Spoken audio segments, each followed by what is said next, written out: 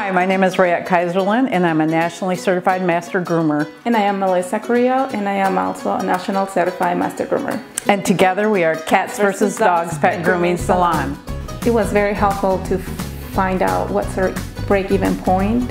Our, var our variable and fixed costs, which we knew nothing about, absolutely nothing about. And just basically open our eyes to the business world, which we had no idea.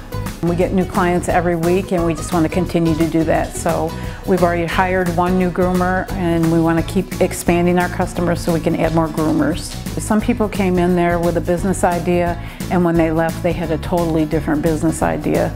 So um, it was a great atmosphere. We went in there, we know nothing about business. We can tell you everything about grooming. We didn't know anything about business and they just, they worked with us and gave us the confidence to do what we do now.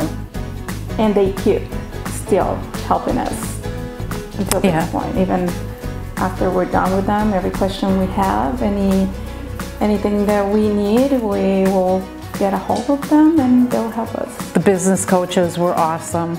It was a lot of fun. Yeah, it, it was a lot of fun. It was fun to meet people with new ideas that, that were just that's all it was, was an idea, and to watch them develop it into a business, it was really fun. Everybody was very supportive, and we just, we can't say enough. We had a great time. We'd do it again if they'd let us.